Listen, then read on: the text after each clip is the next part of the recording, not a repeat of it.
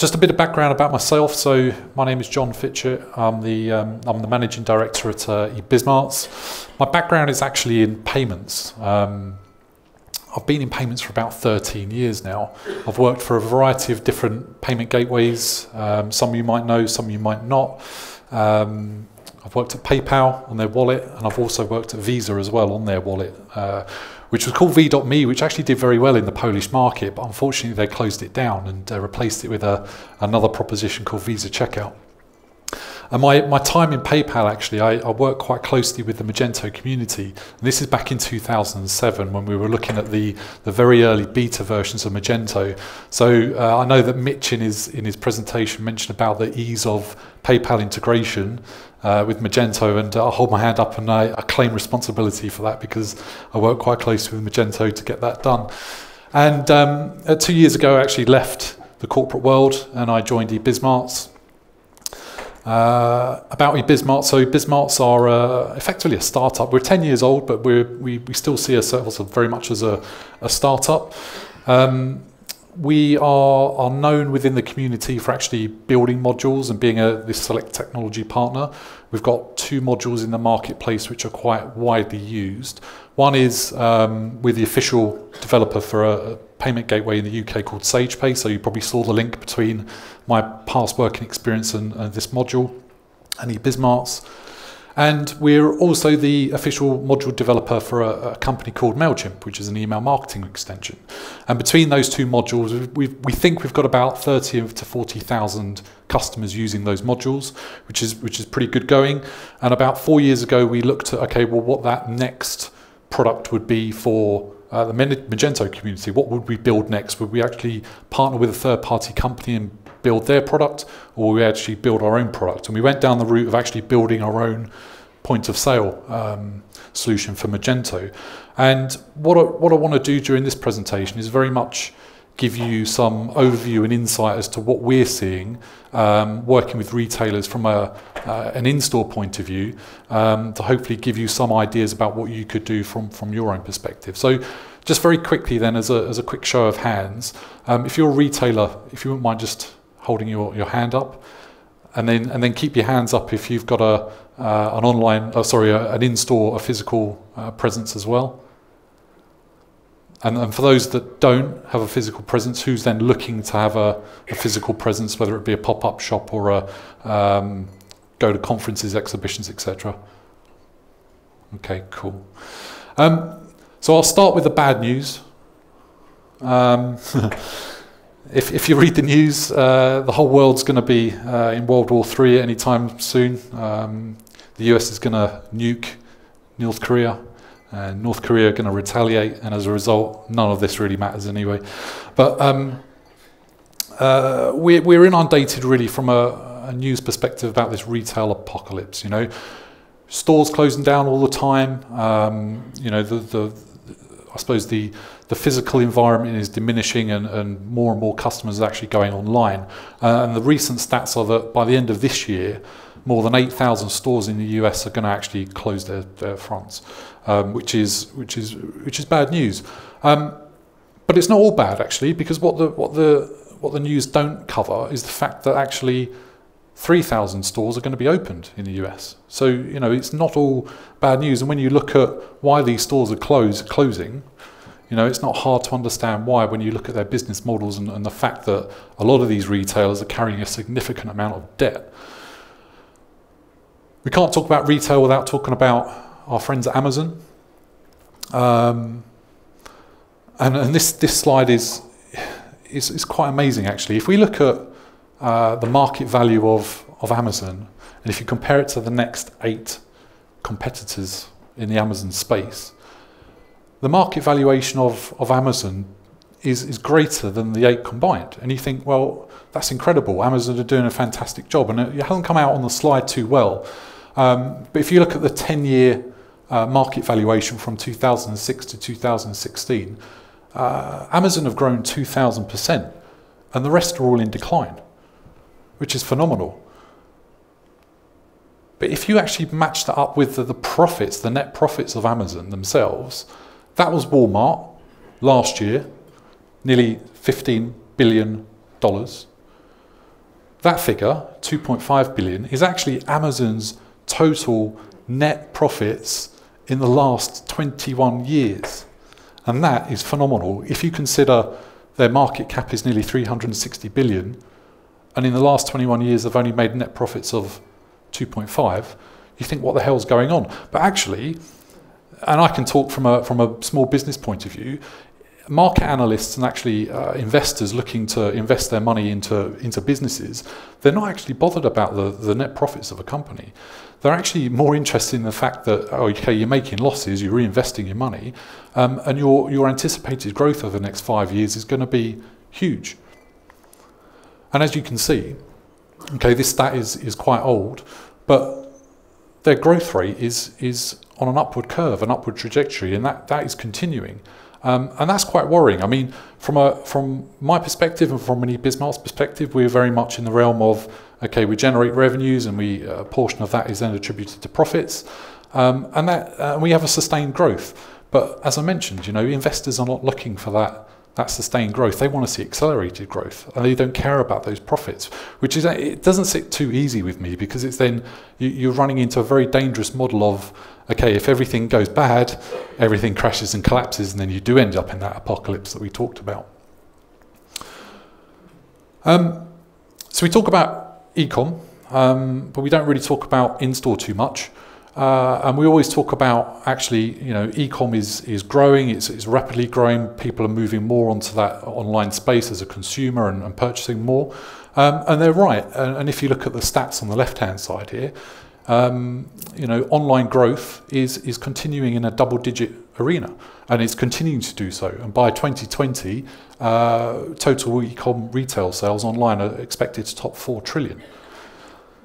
But if you put that into comparison with actually total retail sales combined, including our in-store, um, they're dwarfed. And as you can see, 90% of retail still actually occurs on the high street. And that's why the high street is still an important factor, regardless of what the news is telling you about this apocalypse that's happening.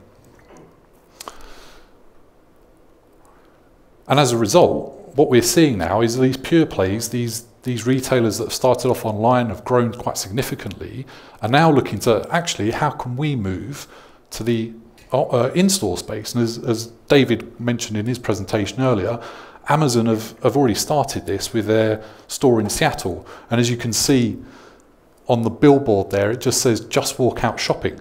You walk in you pick your stuff up you walk out. There's frictionless. It's there's no payment. It's all done behind the scenes. Warby Parker, very similar. Um, optical specialists, uh, very much online, done the same thing. They've gone into uh, the storefront. And from a UK perspective, we we've got this customer called Missguided, which, again, a fashion retailer, um, runaway success online, uh, and have started to actually open up stores as well. So they're seeing the value in actually moving from the online space into the physical uh, arena.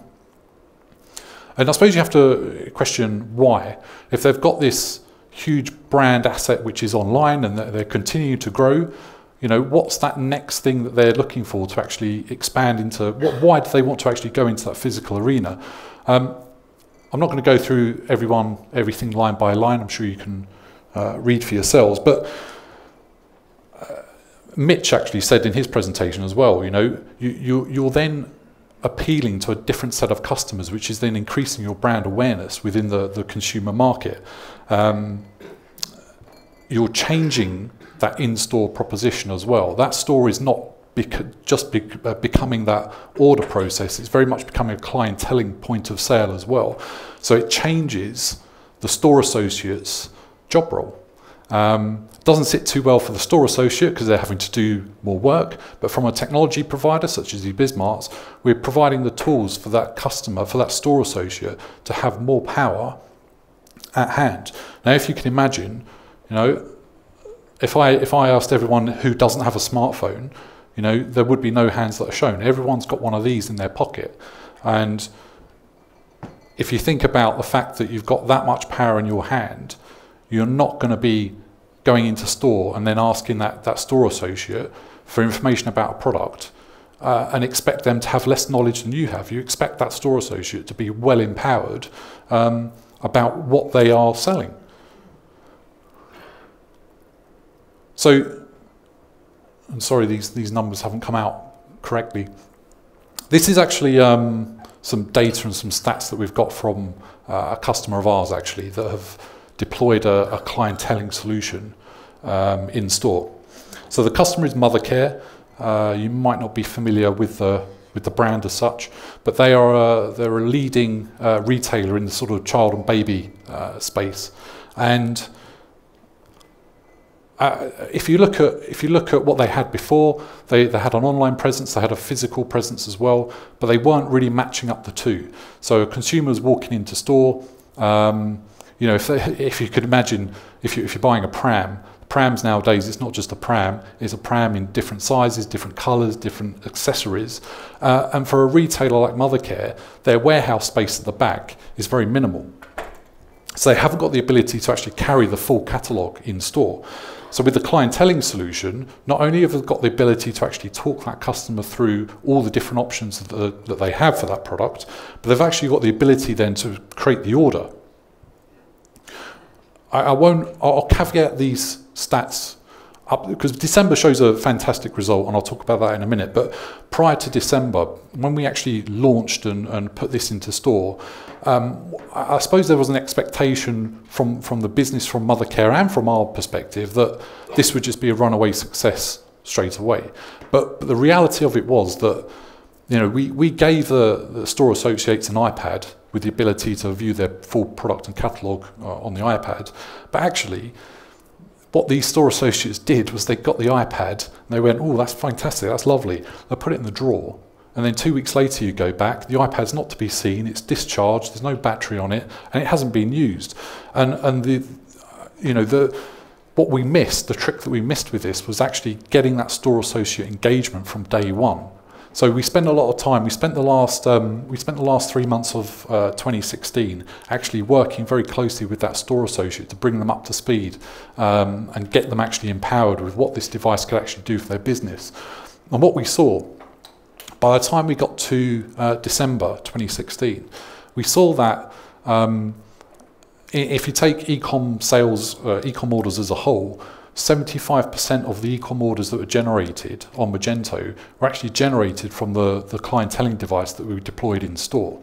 And if you look at January 2017, when they, they also had some sales going on, we saw that uh, ecom, ecom sales uh, as a year on year figure were actually 0.2% down year on year. But if you include the, the point of sale or the clienteling sales that occurred in store, revenue was actually up 50%. So that was a huge increase on, on last year's revenue and actually was the, the, the, barometer really for actually pushing this out into the other markets that um, Mothercare wanted to uh, push to all their franchise opportunities. As it stands today, um, in July, uh, these stats are from July actually, um, we're seeing that clienteling orders that are occurring in store now represent 40% of all digital orders that Mothercare is seeing. So you can see the power of what that clienteling solution have done for this particular retailer. So really what's, what's driving this um, retail change, and we can really put it into two buckets. We can say that the, uh, there's, there's, customer demand and customer uh, change in terms of what they're doing. As I mentioned, they've got their smartphones in their pockets and they're more empowered about their shopping behaviour and, and how they go about making their purchase, um, purchases. Um, and also from a technology standpoint as well, what, what's happening in store is, is changing quite, quite massively. Um, the customer behaviour, as I mentioned, and these stats are, are pulled from, from WorldPay. They had a report that went out earlier this year that 80% of smartphone shoppers use their mobile in store to help with their shopping. So they're actually in the store, they're researching their product on their phone, and they're making a decision there and then whether to buy or actually whether they can find it cheaper and go and shop elsewhere. If that customer had an interaction with the store associate at that point to actually empower them to make that purchase there, it changes the behaviour of the consumer in store.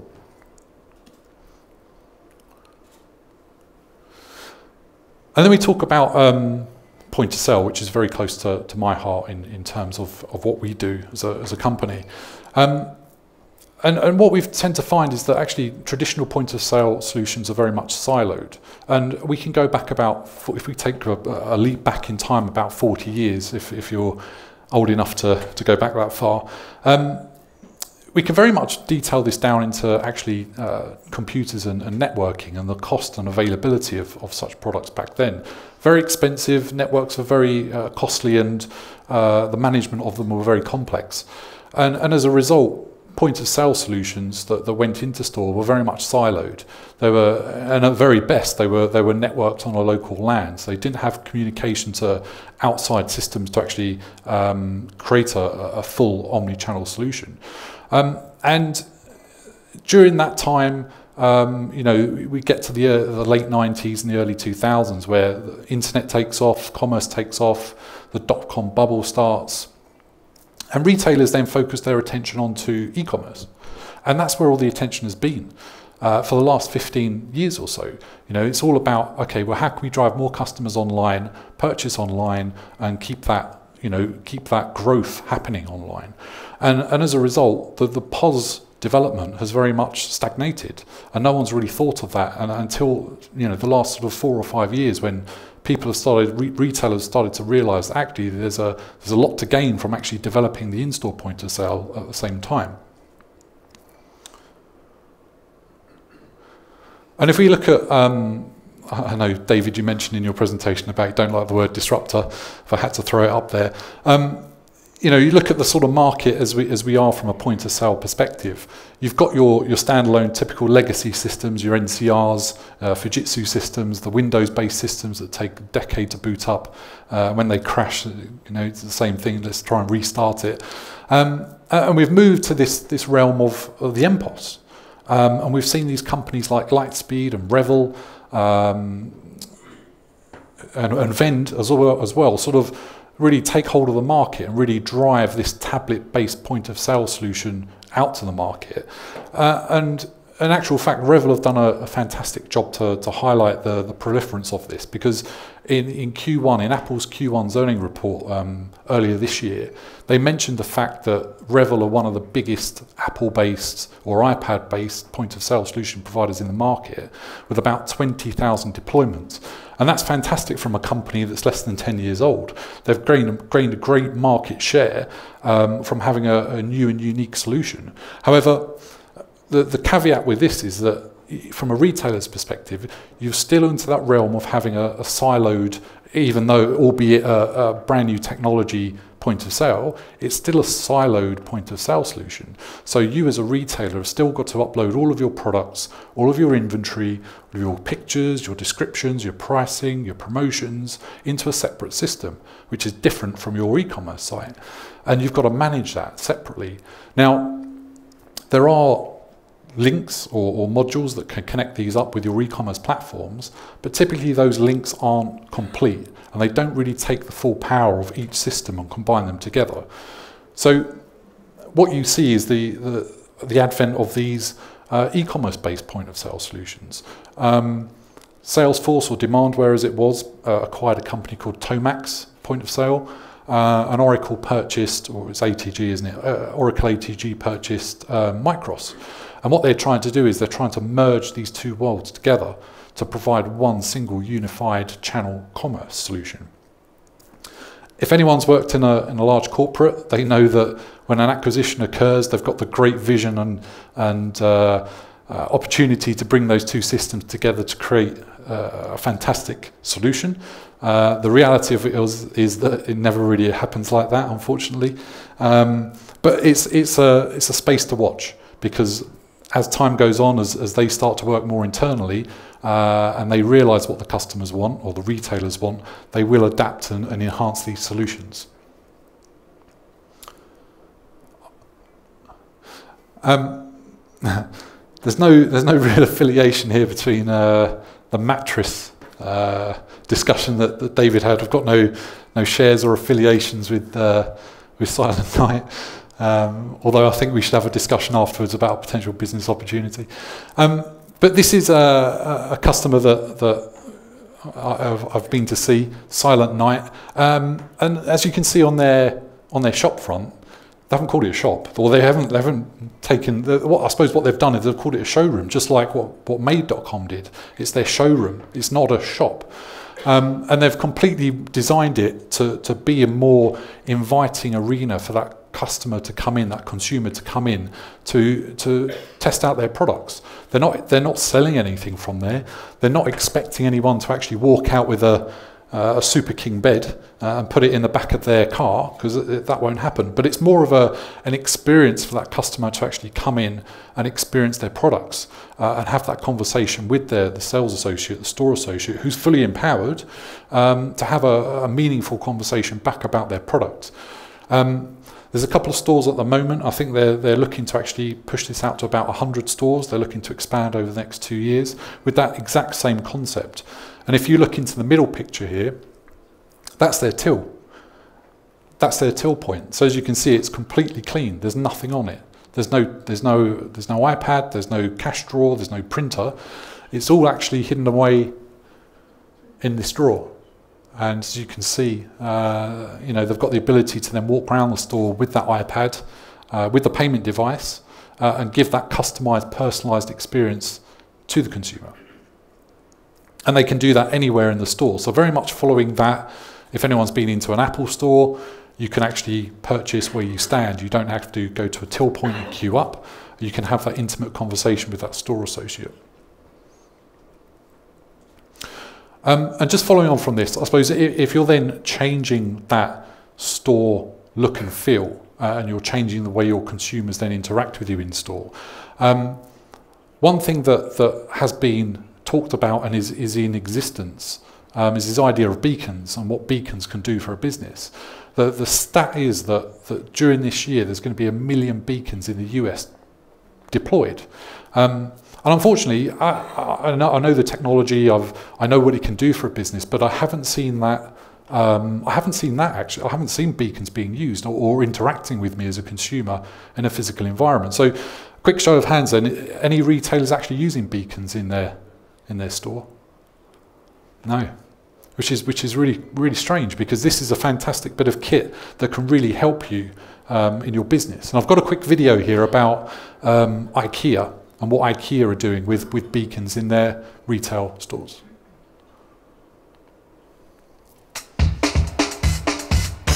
IKEA has been working with apps, web planning tools, augmented reality and other forward-looking concepts for many years. The latest innovation are beacons, small Bluetooth transmitters that are located in certain places around the furniture stores, enabling direct communication with IKEA shoppers. Beacons send useful messages to compatible smart devices when they are within proximity of specific places.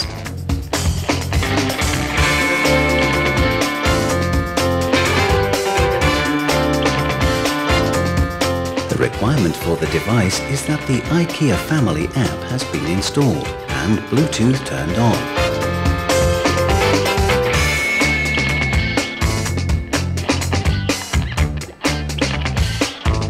Beacon technology works with the new Bluetooth standard 4.0, which is used in iPhones with iOS 7.0 and Android with version OS 4.3 and later.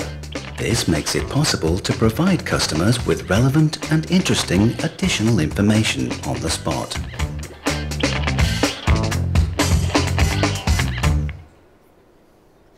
So as you can see, um, they're, they're taking full advantage of uh, beacon technology in store um, to very much give a, again a, a, digital personalized experience to that consumer depending on where they are within that store. And you can actually um, you can actually take that one step forward actually.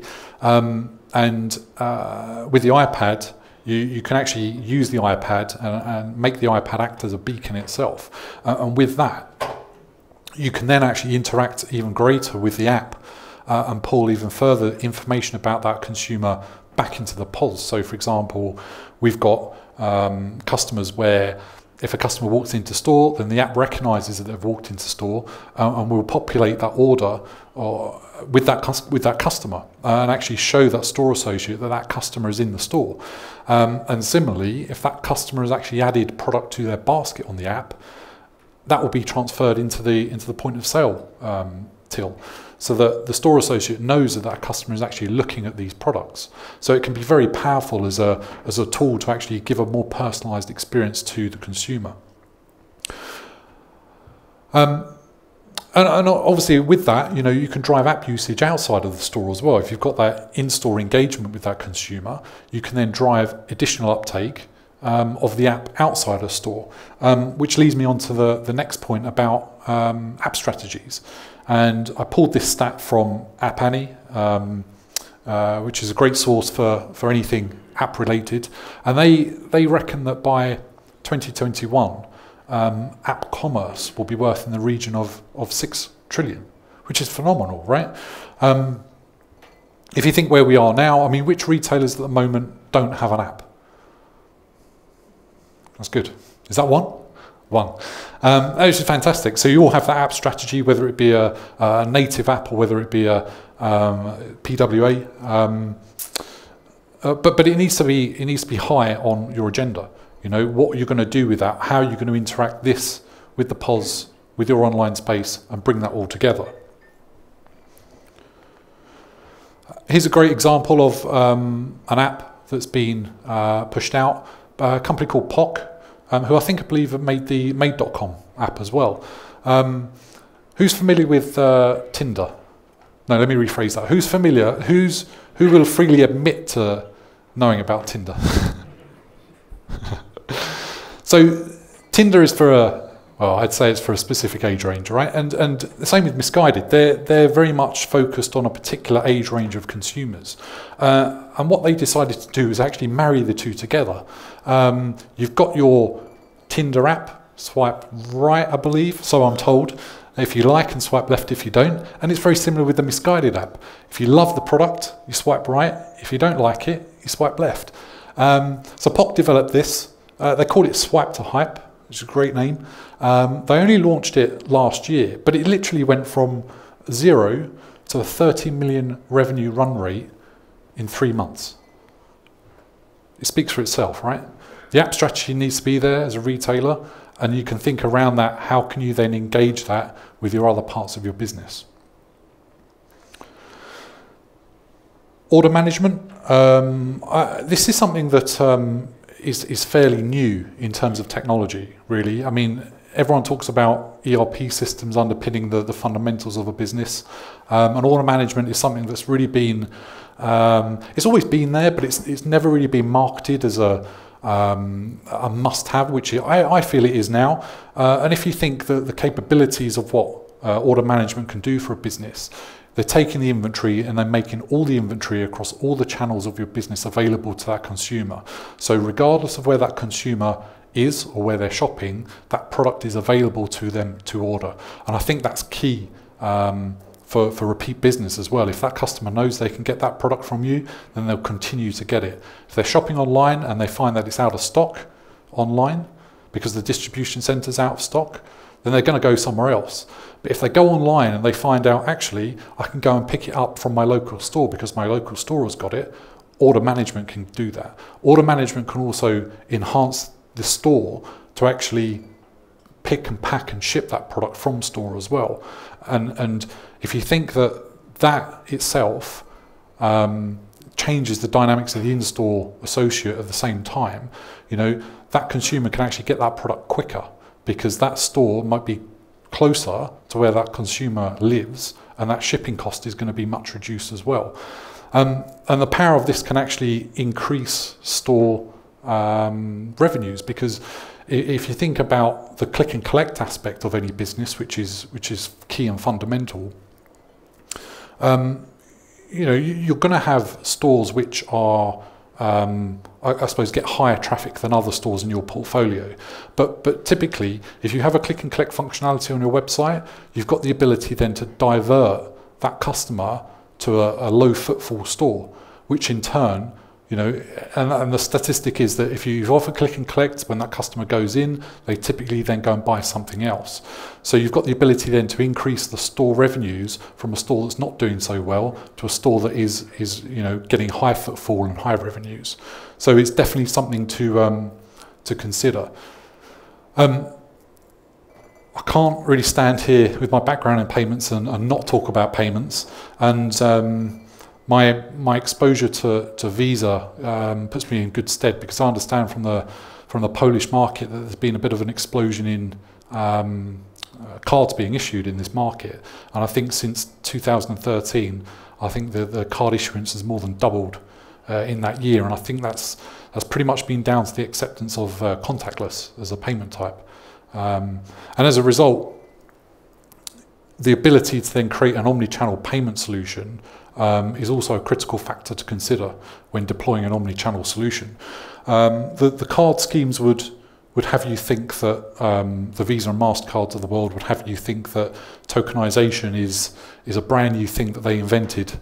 Um, but in actual fact, um, tokenization has been been around since actually when I when I first started in payments in 2003, and it's never really been marketed as a as a, as a product to, to take to market. But um, uh, and uh, just for, for your background, actually, tokenization from the card schemes was only really uh, invented from their perspective to support Apple Pay expansion uh, across uh, the US and, and Europe.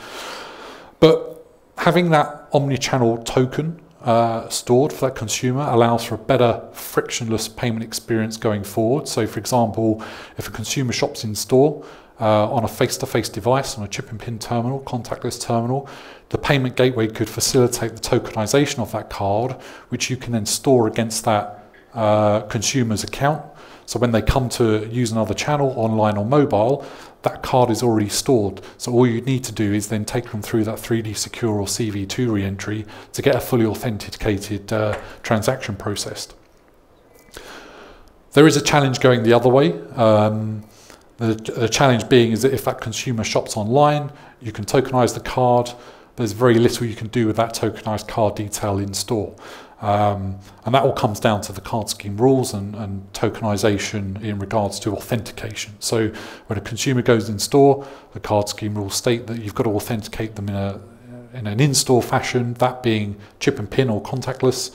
Um, uh, and that's a barrier. And I think the, the card schemes are slowly waking up to this. They're a bit like oil tankers trying to um, trying to get them to, to shift their focus. But when they do focus on it and when they do want something to happen, they do make it happen. For example, they are um, they are championing the, the idea of uh, pin on glass, which is um, removal of the huge Verifone terminals in replacement of a small contactless device, which then you could use actually the, the tablet screen to enter your pin. Um, There, there's always going to be security concerns from a consumer point of view, putting your PIN into someone else's device, but that's something that the, the Visa and MasterCards of the world are going to overcome through their, their marketing tactics. Um, and uh, what was the other thing I was going to say on payments? Um, Yeah, so, so they actually, uh, that's what I was going to say. So um, when, when we come to actually tokenizing online to use in store, uh, I've been into the Visa Innovation Centre in, in Paddington in London, and they've got a till set up where they've got a, a fingerprint device authentication uh, solution. Uh, that would be fantastic from, from that point of view and a frictionless, frictionless in-store commerce payment experience.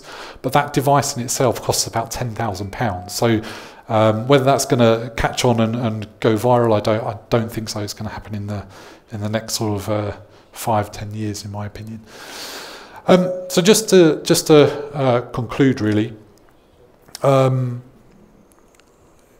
I suppose from a from a Magento point of view, Magento's in a fantastic position that it's got a huge community of agencies, system integrators, and, and technology partners such as ourselves that allow you to get to a what we call an omni-channel perspective. From a retailer, you know, you're probably in that uh, I, I suppose multi-channel view, looking to get into the um, the aspirational omni-channel uh, position, um, and we we we actually pitched uh, a complete Magento omni-channel solution um, to Visa. Actually, we're in the Visa building, and one of the one of the Visa employees is an ex Argos system um, uh, architect, uh, and Argos is a is a huge um, retailer in the UK, uh, and they've spent many years trying to get their omni-channel strategy correct. Uh, and this guy actually said to me, um, he said, "We've we've tried." Many years and we spent millions of pounds and he, he muted 15 million pounds trying to get to this aspirational omni-channel position and what I showed him was a solution where actually he could get to at a fraction of that cost so I'll leave that with you. Um, lots to think about in terms of the in-store retail and bringing that uh, online uh, and bringing all those channels together to give this unified commerce nirvana uh, position. Thank you very much.